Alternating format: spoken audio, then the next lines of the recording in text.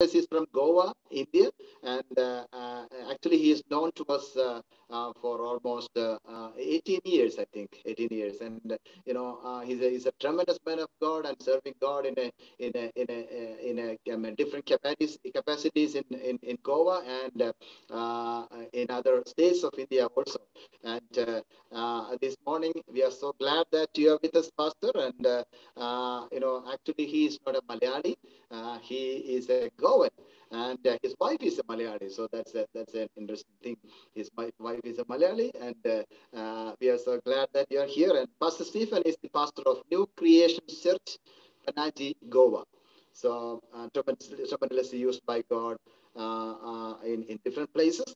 Now it's a privilege to have Pastor Stephen, and let us all sit in the presence of God with a with a prayerful attitude, and also uh, you know, we have uh, one sister, Jessica, uh, joined us with this the, in this uh, uh, service. Uh, she is the friend of Pastor Stephen. she is joining with us from join us Johannesburg, South Africa. So we are I mean, welcoming you, sister, and God bless you also. And this morning, shall we all I mean put our hands together and welcome Pastor Stephen Mentes to speak the word of God this morning. Praise God. Praise the Lord. So thank you very much, Pastor Sam Kuti, uh, for this warm welcome uh, to your home and to your congregation. And uh, I know it's morning over there, and we are just approaching midnight over here, entering into a, a new day. Uh, but uh, nevertheless, because of the gift of this technology, we can reach to you, and you can reach to us without even traveling, but being in the comfort of your home. So I bring greetings to you uh, from the New Creations Church here in Panjim, Goa. And yes, as Pastor Sam, uh, your pastor has told, uh, informed, yes, we have known each other for almost 18 years. And uh, one thing what uh, describes him is uh, two words, a gentle shepherd, you know, he's a really a gentleman, gentle in approach, approaching people. And I want to really thank, tell you, church, that you have been blessed with a great man of God who really carries the shepherd heart, who carries the real burden for God's people. And I truly believe that, you know, this particular season that he is here in uh, Sacramento among in your midst is going to be a real blessing and an upliftment in your spiritual lives. And today it's my great privilege uh, uh, to come into your homes and to share this word of God, what the Lord has laid upon my heart. So even before we can go into this word, uh, I just uh, request you that, you know, wherever you are, we'll just take a moment to pray and submit this word because it is not about the speaker who's going to speak, but it is about the eternal word of God that will work into our lives. So let us just uh, close our eyes and let us commit this word into God's hand and let us believe that God will speak to us this morning. Dear Father, we want to thank and praise you for this moment and for this opportunity. And Lord, even as we come together as the global church, as the saints of God from different parts of the world, in one accord to hear your word. Lord, we just declare that your word, which is sharper than any double-edged sword, your word, which is living and active. And Father, as your word says, that the word that comes out from your mouth shall not return back to you void, but accomplish your purpose. I pray that it will accomplish your purpose into each one of our lives, O Lord God. Lord, even as I stand and speak your word, Lord, I declare it is not in me, but Lord, use me as your servant. And Lord, I also stand corrected, O Lord God. Speak to me too as I minister thy word. Lord, let your name be glorified. And we commit this church into your mighty hands. And we pray that whatever be the purpose of yours in Sacramento and beyond, let it be accomplished through this local church. We give you glory, honor, and praise. In Jesus' mighty name we pray. Amen. Amen. So this morning, I would like to share, uh, I think so you'll be sharing the screen also uh, later on with the slide. Uh, this morning, I just want to share from the book of 1 Peter uh, and chapter 1. So if you have your Bibles, you know, you can just open up and just follow it, you know. And uh, we will be basically looking from verse number 3 to verse number 7. And it's uh, 1 Peter chapter 1. And this epistle has been written by Apostle Peter and the theme which I have just titled for this particular teaching and sermon is Resources to Face Sufferings of Life. And the moment when we talk about sufferings, you know, uh, nobody is you know exempted from sufferings. You don't need big dictionary to explain what is suffering because each one of us have gone through seasons of suffering in our lives. And as the dictionary says, suffering is a feeling or an experience of pain or distress.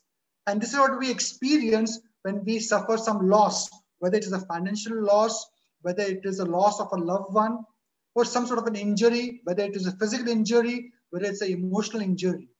And we all experience suffering in our lives. And if you look into human history, there are various examples of human suffering. Sufferings can be a result of conflicts.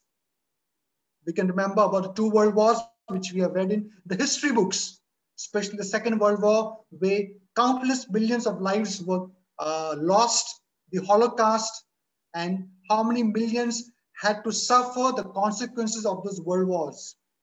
We talk about the financial suffering, you know, uh, people losing job. We have heard about the Big Depression. You are there in the United States, but in 1920s there's a Big Depression, and then we have heard about the 2008 depression, and now yes, uh, once again we are going through some sort of a financial lack in society, and that brings about some sufferings into our lives. Sometimes the suffering comes because of moral degradation of the society, abuse of children, abuse of weaker section of society. Sometimes it is because of personal suffering, of broken relationships. And sometimes suffering comes into our life because of sicknesses, whether it could be uh, cancer, whether it could be uh, heart issues. And presently, the whole world is affected by this pandemic called the coronavirus. And in the midst of this particular season, as I was praying and asking the Lord, Lord, what do you want me to share to your church?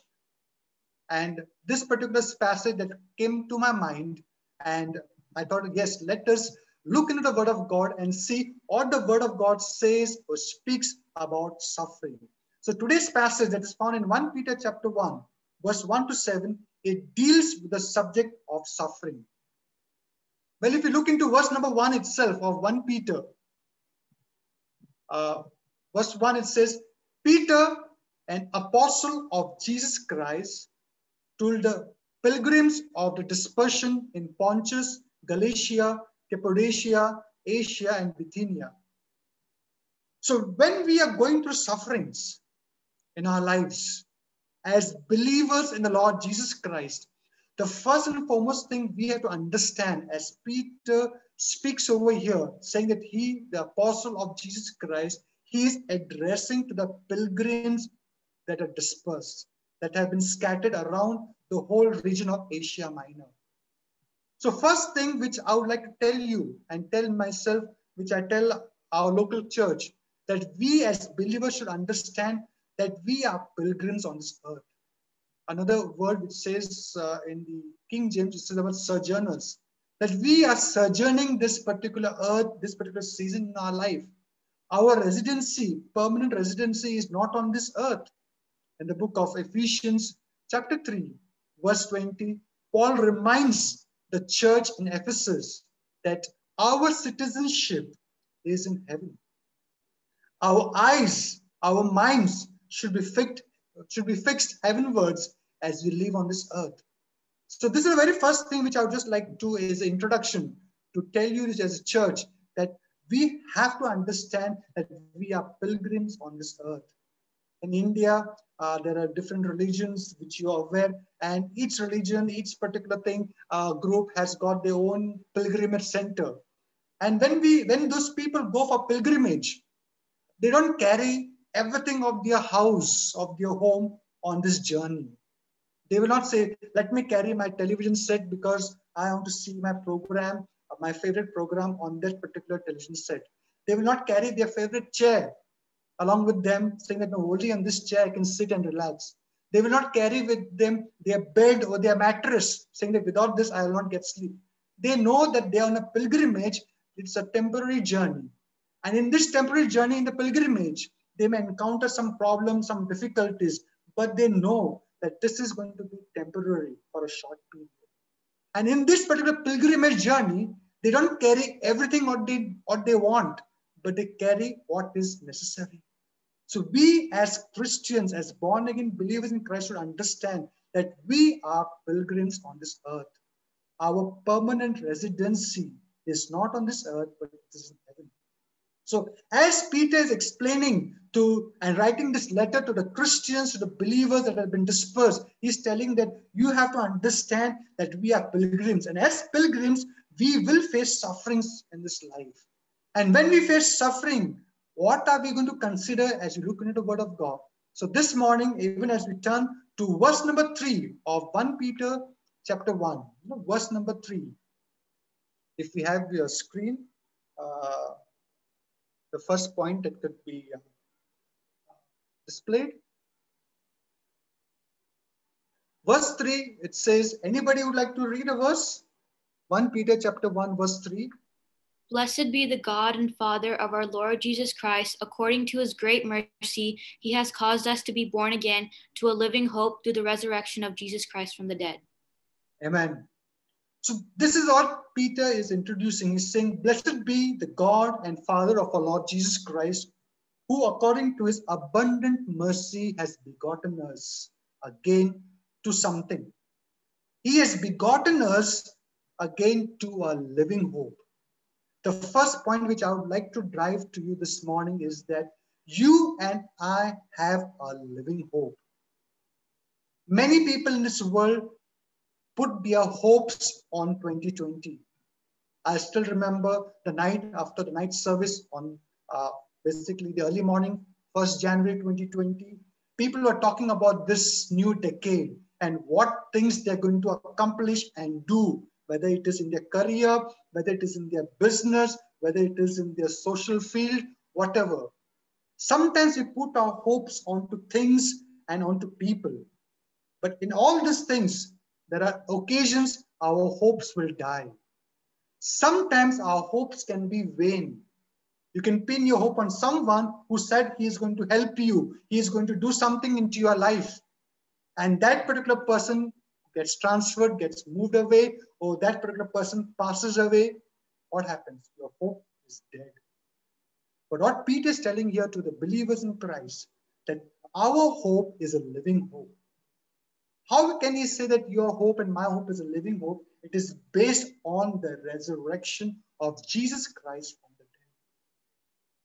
There is no one in this world who experienced death and came back to life on his own account except Jesus Christ. And that is what Peter is saying here that, my dear beloved, my dear believers, pilgrims on this earth, that we should know that we have a living hope. And this hope comes through the resurrection of Jesus Christ. Through the sacrificial death of Jesus Christ and his resurrection, we experience salvation. So what we can see is that our sufferings, when we are going through season of sufferings, our suffering should be faced against the backdrop of a living hope. And that living hope is Jesus Christ, the resurrection of Jesus Christ. When Jesus lived on this earth, when Jesus was on the cross in the Garden of Gethsemane, and all that was happening from the Garden of Gethsemane till the cross of Calvary, Bible says he went through sufferings. If you have your Bibles in Hebrews chapter 2, verse number 18. Hebrews chapter 2, verse number 18.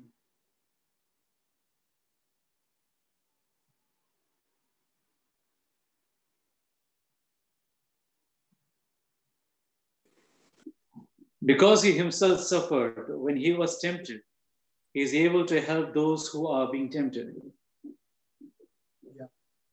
So what we can see over here, the writer of Hebrews is saying that he also suffered when he was tempted. He went through all the sufferings.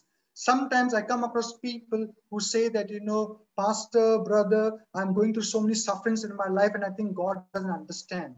But the word of God is so very clear that he has gone through all those things. He suffered all those things and he can understand us. In the book of Hebrews, again, chapter 4, verse 15, the Bible says, Yes, we have a high priest who can sympathize with us because he has gone through all those things that we are going through in our life.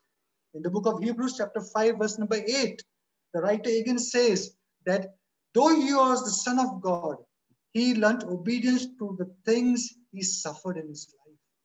So when we are going through sufferings in our life, when we are facing sufferings, let us face it against the backdrop that you and I have a living hope that yes, my Savior himself went through all the sufferings. And finally, in Hebrews chapter 12, on this particular point, it says, the writer says in uh, verse 2, Hebrews 12, verse 2, it says, looking unto Jesus. In verse 1, he speaks about running the race that is set before us. How we are going to run this race? We're going to run this race by looking unto Jesus, the author and finisher of our faith.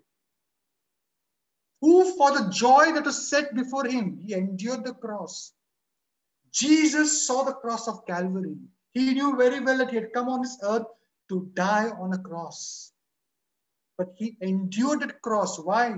Because he could see the joy that was beyond the cross. Beyond the cross was salvation of mankind. Beyond the cross was mankind can again be reconciled to God the Father. And when he saw that, he endured the cross. He despised the shame. And now he is seated at the right hand of the throne of God. And then the Bible says in Hebrews chapter 12, verse 3 Consider Jesus, consider him who endured all this hostility from sinners. He went through all the sufferings. He endured all this hostility from sinners against himself. Consider Jesus. When we look at Jesus, you know, uh, we preachers sometimes are very guilty. Uh, what we do is that we just tell the congregation, you know, Jesus heals. Yes, he heals. Jesus performs miracles. Yes, he performs miracles. But we forget to tell people that yes, Jesus also said that in this world you shall have tribulations. And that's what happens. When we preachers keep on preaching about healing, miracle, goodness, blessings, earthly blessings, but we fail to prepare them that yes, there are going to be sufferings also. There are going to be tribulation, there are going to be persecution, there are going to be tough times. Then what happens? A believer is in for a shock and that's what the book of Hebrews, writer of Hebrews says here. Consider Jesus. What you go to consider? What aspect of life of Jesus we got to consider? He says, consider Jesus and that part of his ministry or his life that he endured all these hostilities, all the sufferings from the sinners against him. This is when you consider that and you take that as an example, you will not become weary, you will not get discouraged in your souls. So my dear friends, the very first thing that I would like to share with you this morning from the book of Peter, 1 Peter chapter 1 verse 3, it says that sufferings should be faced against the backdrop of a living hope. My dear friends, you may go through sufferings in this world. Everybody goes through it. And sometimes we as believers think, why should I go through it? Because I'm a child of God. And my God is an eternal God. My God is uh, all, all, almighty God, all powerful God, omnipotent. But remember, there are times God takes us to a season of sufferings when we, we have to face them against the backdrop that you and I have a living hope. Sufferings will not last for a long period. We have a living hope to the resurrection of Jesus Christ. Secondly, in verse number four, can someone else uh, unmute your mic and read verse four or 1 Peter chapter 1? To, an, in, to inherit to inheritance that is imperishable, undefiled, and unfading, kept in heaven for you. Yeah. So Peter continues that train of thought. He says, God, through Jesus Christ, has begotten us again to a living hope. We all have a living hope. How? Through the resurrection of Jesus Christ from the dead. And then he has begotten us to an inheritance. I think so. There is no one who's listening to me this morning, there is no one who does not like receiving an inheritance. We all love to receive an inheritance. You don't have to work for it. It comes to you because you belong to a certain family.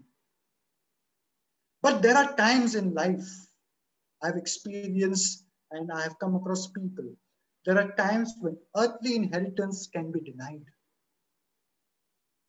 Maybe the father will say, I don't want to give this particular uh, property to my son, to my daughter. I would rather donate it to some charity, to some organization. It can be denied. Sometimes an inheritance can be taken from you. You could be cheated. People may defraud you. And I've known of certain uh, believers also who have been defrauded by their own siblings, you know. And then they say, why to fight a case? We leave it to God. Earthly inheritance can be taken away from you.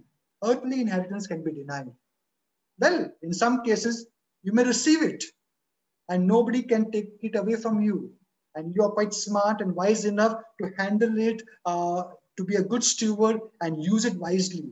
Praise God for that. But still, earthly inheritance cannot be kept forever. When you leave this earth, when I leave this earth, I will leave that inheritance to someone else. Earthly inheritance can only be transferred to someone else. That means I am a steward for a period of time. It could be 10 years, 30 years, 50 years, or whatever. But I cannot keep it with me forever. I cannot take the piece of my property. I cannot take the bungalow, the villa, or whatever assets that I have. I cannot take it with me to heaven. So we can understand from all this that yes, earthly inheritance are good, praise God for it, and we can be good stewards of it, but they cannot be for eternity. But when Peter speaks about here in verse number four, he says, God through Jesus Christ has begotten us to an inheritance which is incorruptible. That means it cannot be corrupted. Assets, blessings of the earth can become corrupted, but your inheritance in Christ can be corrupted. It is undefiled. And the wonderful thing is, does not fade away.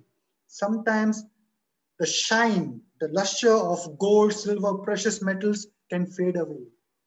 But the godly inheritance which we receive through Jesus Christ, that does not fade away. And it is reserved in heaven for you. It's like I said, earthly inheritance can be taken away from you. Somebody can uh, cheat you. But what godly inheritance that God has kept through Jesus Christ for you, that has been reserved for you. I cannot go and fool God and tell to God, God, don't give that inheritance to Pastor Sam Kuti. Uh, it deserves to me. No, I, I have done much more than what he has done. I cannot fool God. I cannot turn the mind of God. What God has reserved for each and every individual God knows exactly and it is meant for you.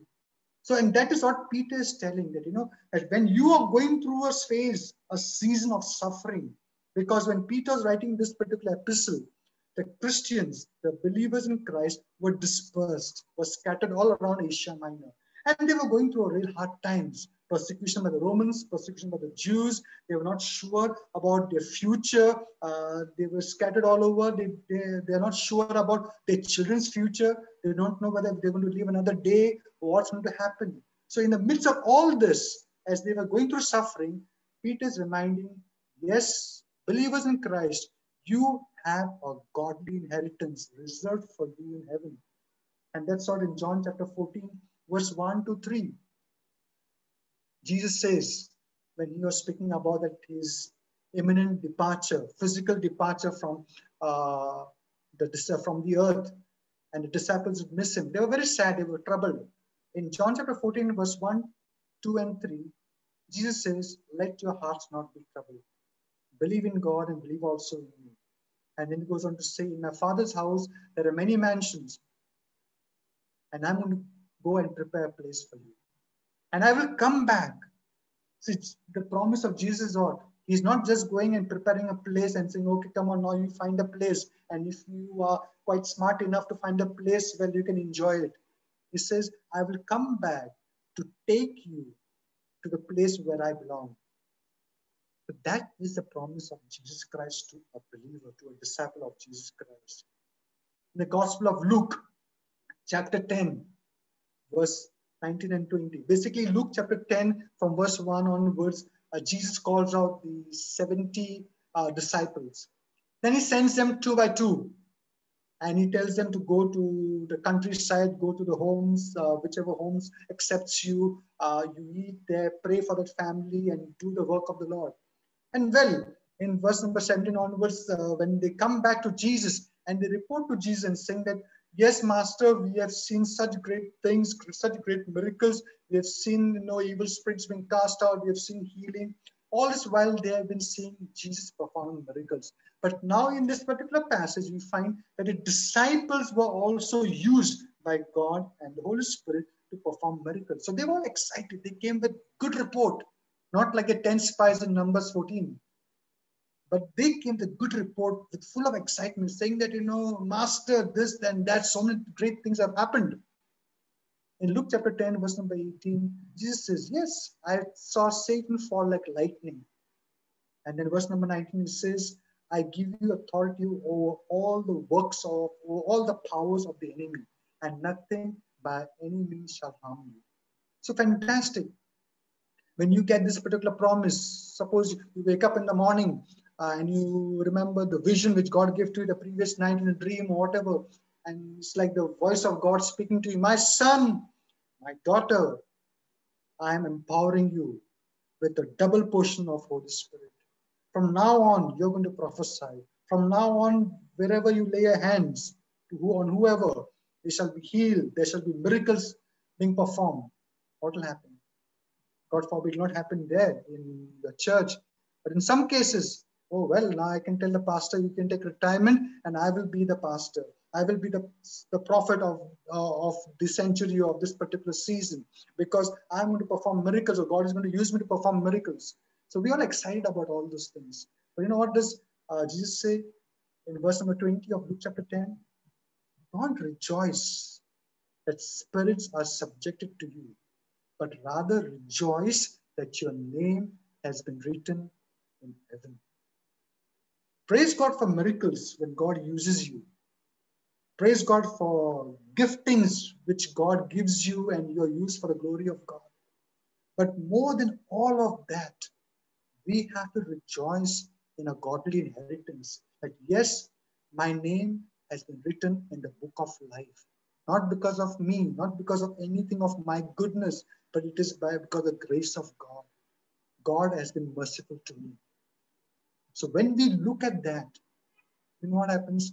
When we go through a particular suffering for a period, we rejoice still. It encourages because we have a godly inheritance that is incorruptible, that is undefiled, that does not fade away, and that has been reserved for you in heaven by the Lord Almighty.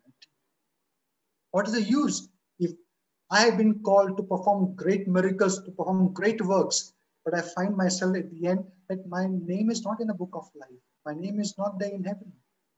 I've been just doing it for the sake of just my name and my fame. It is just man's work.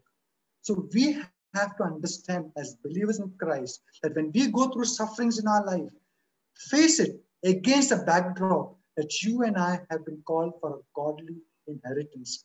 A Bible scholar by name Francis Beard, he says, the godly inheritance untouched by death, unstained by evil, un, and unimpaired by time. So that is the power of your godly inheritance. So let not temporary sufferings take your focus away from the godly inheritance which God has promised to you. Verse number five. Can someone else read verse five? Or 1 Peter chapter 1. Who by God's power are being guarded through faith for salvation ready to be revealed in the last time. Yeah. So thirdly, what I would like to say is that suffering should be faced against the backdrop of divine protection as you and I, we go through a season or a period of suffering, of trials, remember that you are kept, you are divinely protected by the power of God. Many of the people, one of the best psalm is Psalm 91. Here in Goa, even Catholics will quote, who are not born again, but they too will quote Psalm 91. But Psalm 91 if you have your Bibles, I've not put it in the slide, but uh, if you have your Bibles, uh, Psalm 91, verse 9 onwards. I'll just read uh, this passage is from the New Living Translation, but simplified.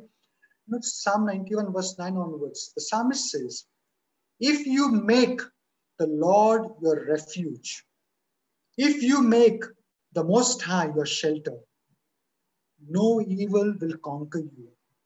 No plague will come near your home. That means what? When God is your refuge, we can sing that song, God is my refuge and strength, a very present help in time of trouble.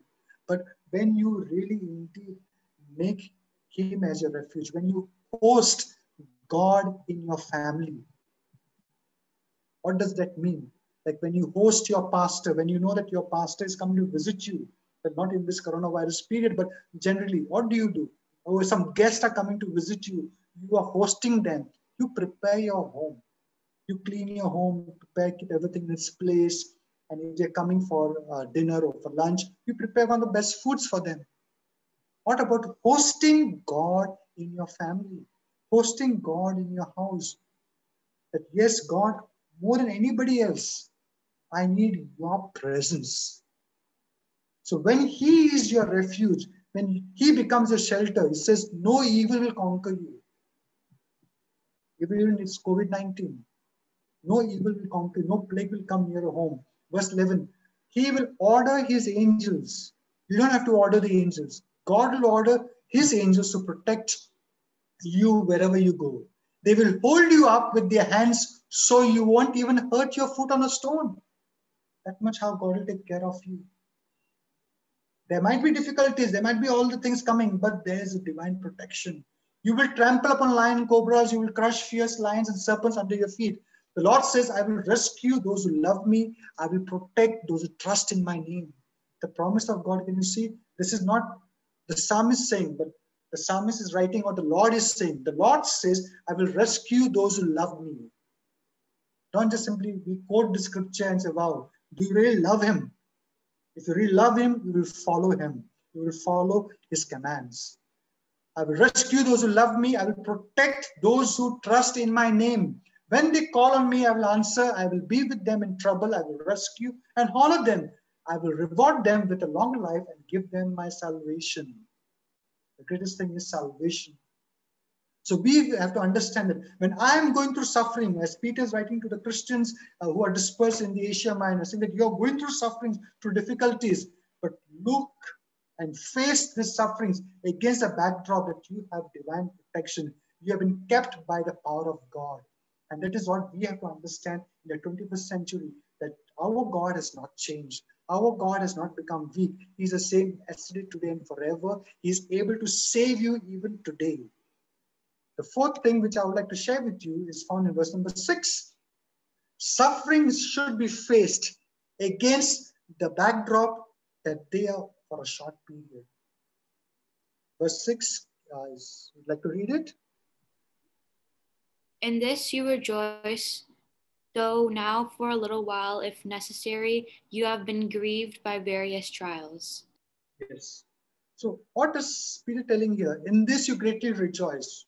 In what do we rejoice? Yes, we don't rejoice in suffering, but James chapter 1, verse 2, James says, My dear brethren, count it pure joy when you fall into various trials. Uh, frankly speaking, we don't really count it joy, but we say, God, when will this trial get over? But what is James saying? That we have to rejoice. And the Greek word for rejoice is leap for joy.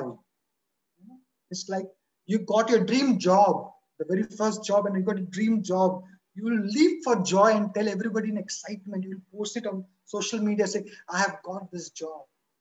Or something that you were dreaming of and you got it, you will leap for joy. And that is what Peter says okay. In this you greatly rejoice. In what do we rejoice? We rejoice that we have got a living hope. We rejoice that we have got uh, inheritance which is godly, which is not defiled. We rejoice that we have a divine protection. And in this backdrop, in this that you greatly rejoice, though for now, you, for a little while, if need be, you're grieved with various trials. That means for now, for a period, for a short time, you may be going through trials. What is God saying? What is the word of God saying? Our response in this trial should be that we should rejoice remembering the promises of God. In the book of Second Corinthians, chapter 4, 2 Corinthians chapter 4, verse 16 to 18. And once I told the church, our congregation here in Goa, is that, you know, whenever we go through trials, sufferings, you know, we don't like it. And the natural reaction of a believer, of anyone, would be like we become very uh, sad, we become very green, and over a period of time, when it uh, when it uh, elongates, the period elongates, what happens? We become discouraged, and then we get depressed. And there are times when we start doubting God, and we uh, get into unbelief. I told the church, let us remember these three verses which Paul writes to the church in Corinth. Second Corinthians chapter 4, verse 16 to 18. Can someone read it if you have got it? So we do not lose heart, though our outer self is wasting away, our inner self is being renewed day by day. For this Okay, life, we'll read first uh, verse 16 itself first. So as we have read, as sister has read, you know, what it says, do not lose heart. Even though outward man is perishing. When we were kids, we, uh, when we were young, we wait for birthdays to celebrate. Yes, I'm nine years old, then the 10th birthday. Daddy, I want to celebrate my 10th birthday. You know? I want to celebrate my 18th one. I want to celebrate my 21st one. You know? But after a period of time, when you're 40, 50, then you don't really enjoy celebrating birthdays because it's a reminder that I'm growing older. What is Paul saying here? Our outward man might be perishing, but for a believer in Christ, your inward man is being renewed day by day. When you spend time in the presence of God, in His Word, when you spend time communicating with the Holy Spirit, who's your comforter, who's your guide, who's the one who strengthens you, you know what happens? Your inward man is being renewed day by day. And this is happening. Sister, carry on the next verse, 17. for this slight momentarily momentary affliction is preparing us for eternal weight of glory beyond all comparison. Yeah, okay, verse number 17. So in New King James, Paul says, our light affliction, for our light affliction, which is for a moment. So what is Paul describing the affliction as? Two things. One is it is light. Second, it is for a moment, momentary. So the affliction which is light and momentary is working for us a far more exceeding and eternal weight of glory. So can you see the comparison? One is affliction and the other one is the glory of God. The affliction is working for us into the glory of God. What is affliction? It is light. It is for a moment. But what is the glory? It is exceeding and it is eternal.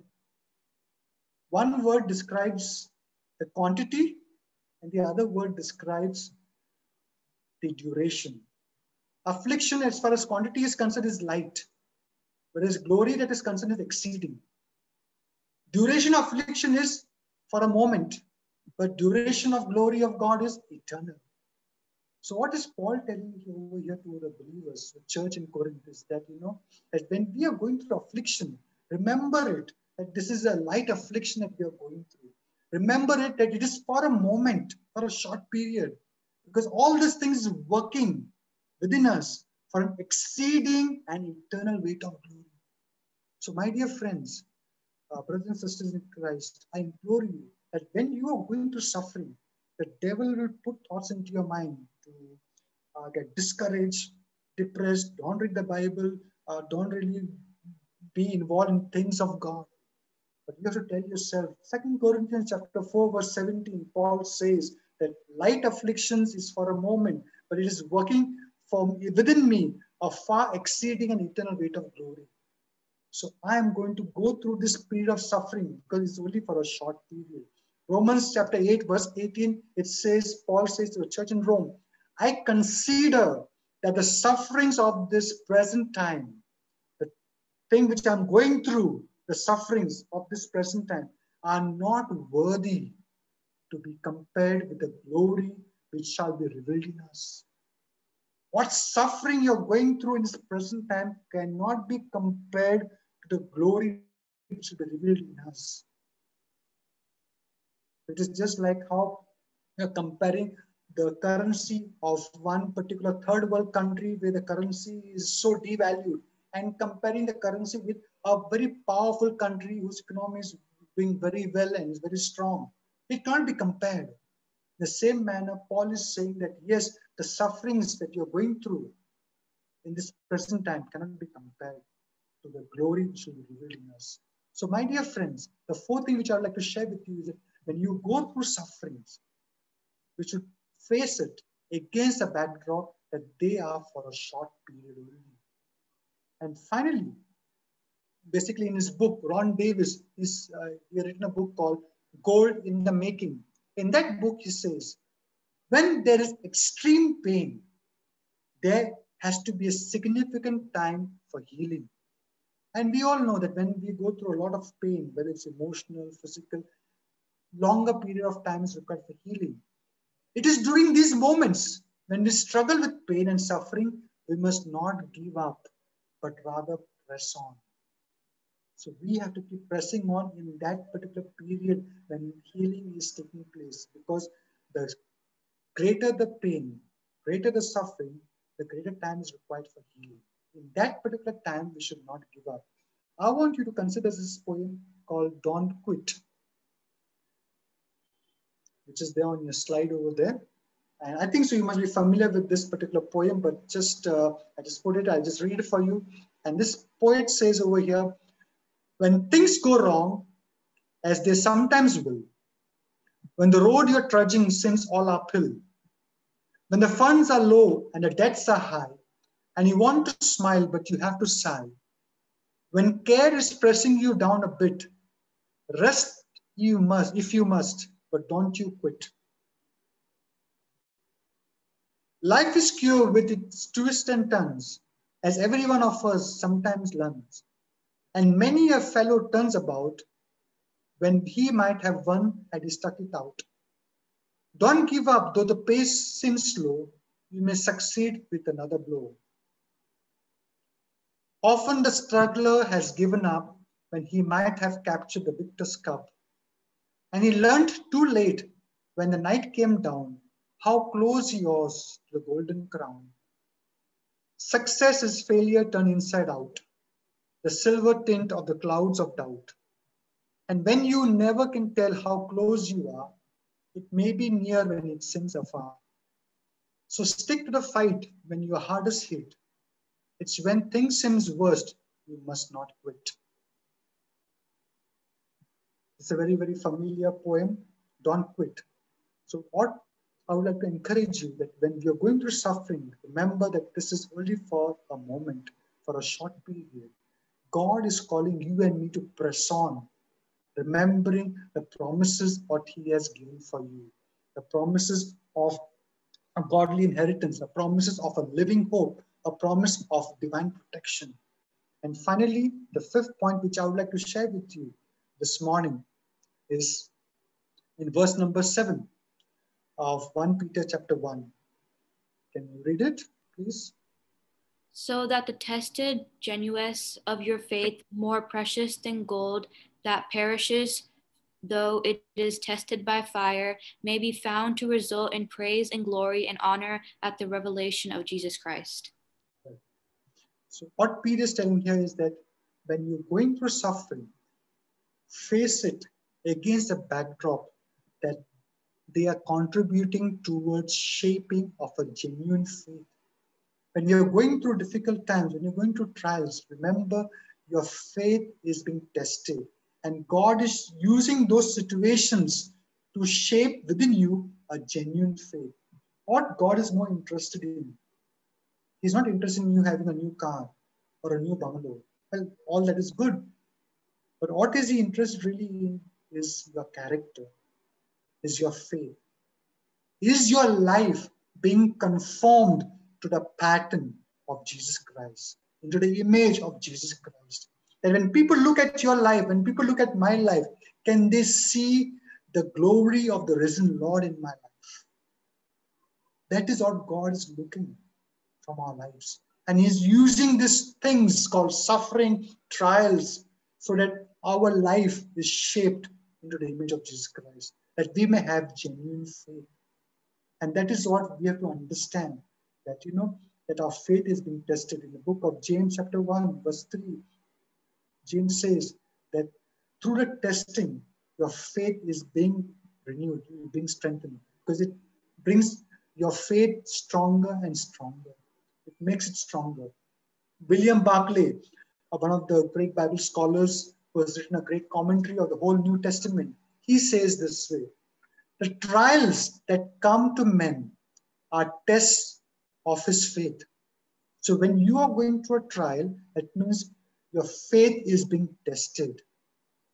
And he goes on to say, out of them, his faith can emerge stronger, clearer, and firmer than ever before. So when you are going through a suffering, when you're going through a trial, remember, as you endure it, your faith will emerge stronger, clearer, and firmer than before the suffering. And that is what we have to understand. As in Job chapter 23, verse 10, Job declares. We know about Job. You know, we have heard a lot of preaching about Job and Job who uh, was so blessed. And then all of a sudden, over a period of one day, two days, you know, uh, he not only lost everything, but he lost his health also. But in Job 23, verse 10, Job declares, and he says, When God has tested me, the second part of Job 23, verse 10, it says, When God, when He has tested me, I shall come forth as gold. When the testing of God over my life is completed, is over, and I will endure it. I will come forth as gold. You're being refined in pure gold. Another Bible scholar called M. Scott Peck, he says, courage is the capacity to go ahead in spite of fear or in spite of pain.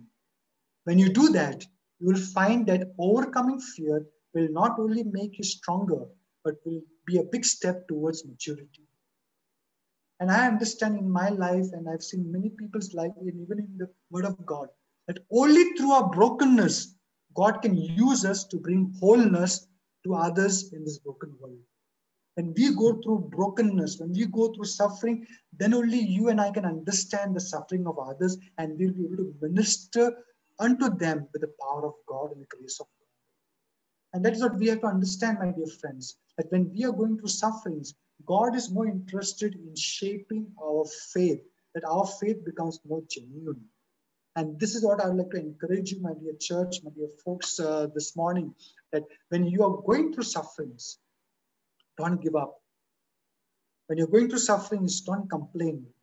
It's easy to complain, it's easy to grumble, it's easy to get discouraged, and it's, uh, it's very easy to quit. It's like I had it enough, I cannot go in any more further. But when you're going through suffering, Remember these five points. Yes, you can come with many more uh, study points, uh, not only from this particular episode, but from various other portion. But this morning, I just want to dwell on this particular verses from verse 3 to verse 7, and where it says, suffering to be no. against the backdrop of a living hope. Earthly hope can die. Earthly hope can be vain. You know, sometimes we have vain hopes we trust in the wrong person, we believe in the wrong person, and it is useless.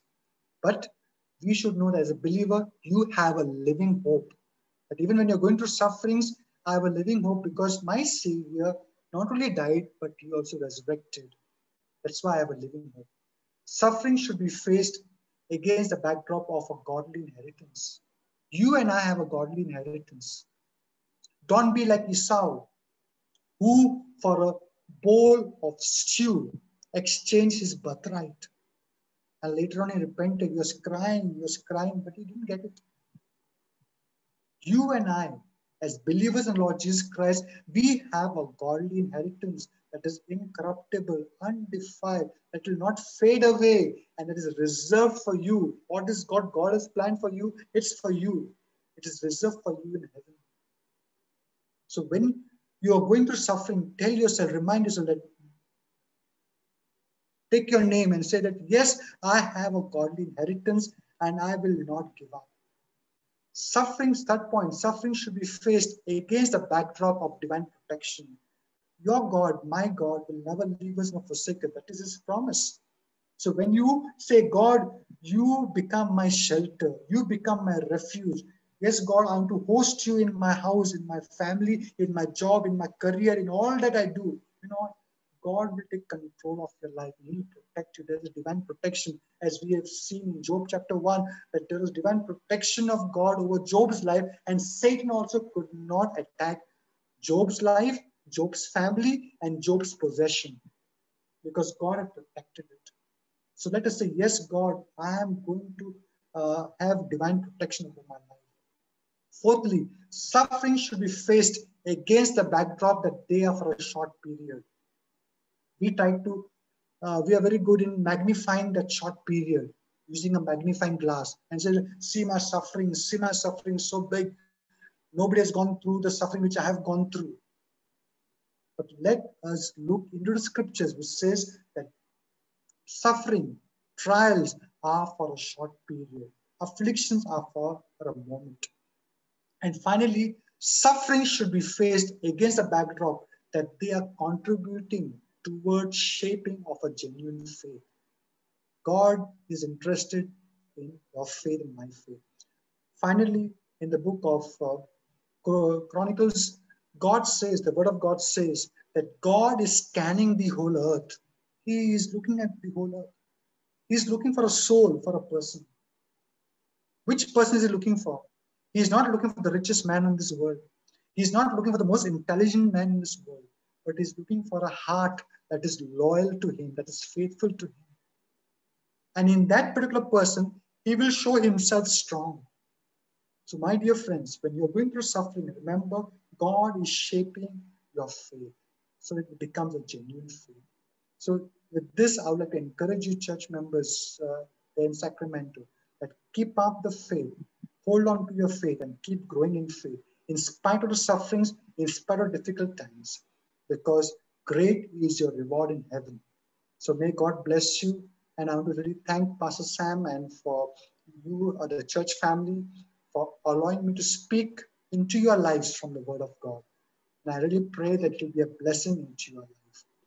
In closing, I would just like to pray for you. Shall I do that?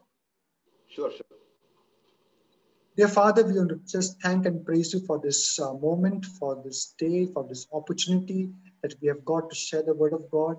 And I pray, Father, for each one of us, O oh Lord God, even as we have heard your word, and we declare that your word, which is powerful, Lord, which is living, Lord, which is active.